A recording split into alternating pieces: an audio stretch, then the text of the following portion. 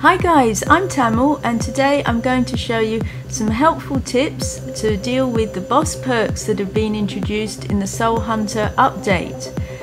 And it's become quite a hardcore game if you're at high level.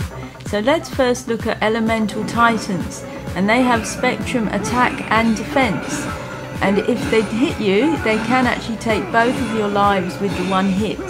So you really don't want to get hit and if you use dual you won't need to use block. So you won't have to deal with perfect blocks which would be the only way to avoid a spectrum hit.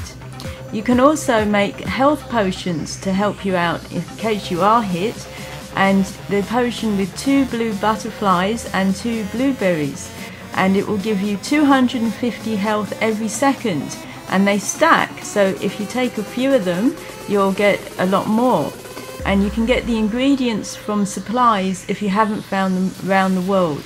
And here I got hit and I'd taken about seven of those and so I got one and a half thousand health a second.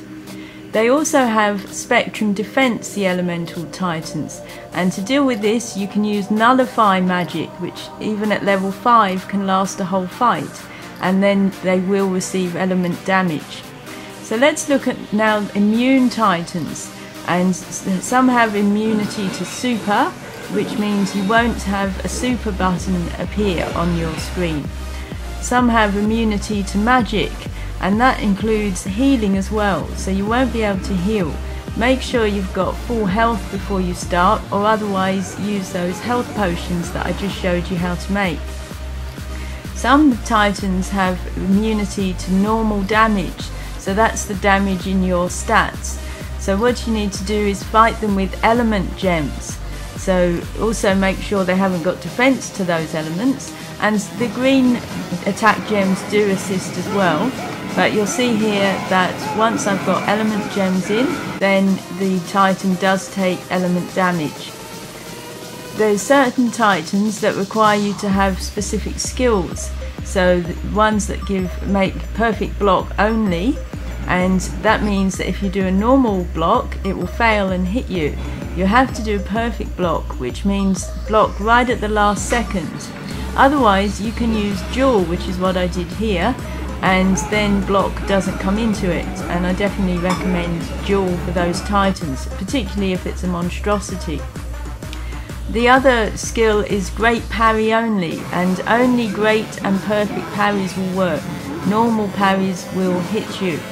So again, if you want to get a perfect parry, then you need to align your sword to the exact same angle as the Titan sword and also hit very close to the last second. Otherwise, rely on dodge or block to instead of parrying if you're having trouble with parrying.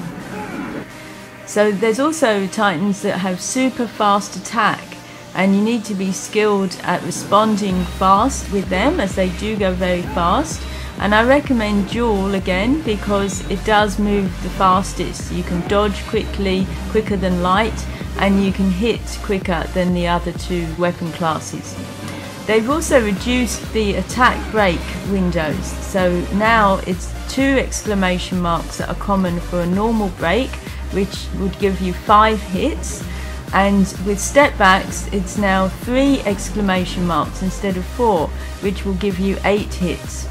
And one way out of this is to reduce your awakenings. So when you get that too hard option on defeat you can choose that and tick choose the tick and you'll go back to lower awakenings and your boss levels will reduce. And you'll have time to get your gems together you can also reduce awakenings anytime from the options menu if you scroll down and you'll see it says re restart last awakening. And so at lower levels they have removed the boss perks but you'd have to restart your character to go to lower levels. But restarting lower awakenings will certainly give you time to get your gems together and potions and have lower bosses. So I hope you enjoyed this video guys. Thanks for watching. And if you did, please like, comment and subscribe to my channel. See you next time.